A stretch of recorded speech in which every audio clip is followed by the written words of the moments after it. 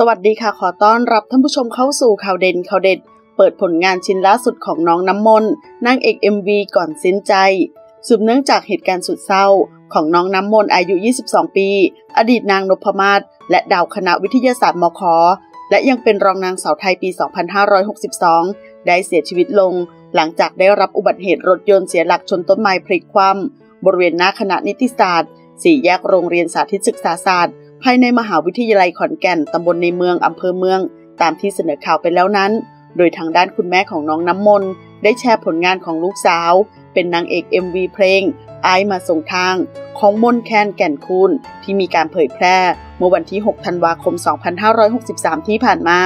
ซึ่งมีทั้ง 3 เวอร์ชันเวอร์ชันของน้องน้ำมนต์ยอดวิวอยู่ที่ 7 ล้านกว่า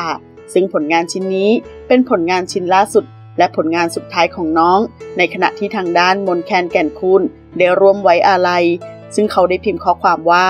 มนแคนขออนุญาตเป็นตัวแทนแฟนๆทุกท่าน แสดงความไว้อาลัย ต่อการจากไปของน้องน้ำมนมนชนิดช่วยบุญ รองนางสาวไทยปี 2562 หนึ่งในนักแสดงหลักของอัลบั้ม ไปรวยเอาดาบหน้า และเป็นนางเอกมิวสิกวิดีโอเพลงไอายมาส่งทางของมนแคน ขอบคุณน้องน้ำมนที่มาร่วมสร้างสรรค์ผลงานด้วยกันนะครับ ยินดีที่ได้ร่วมงานกัน ผลงานของน้องจะอยู่ในใจของผม และแฟนๆตลอดไป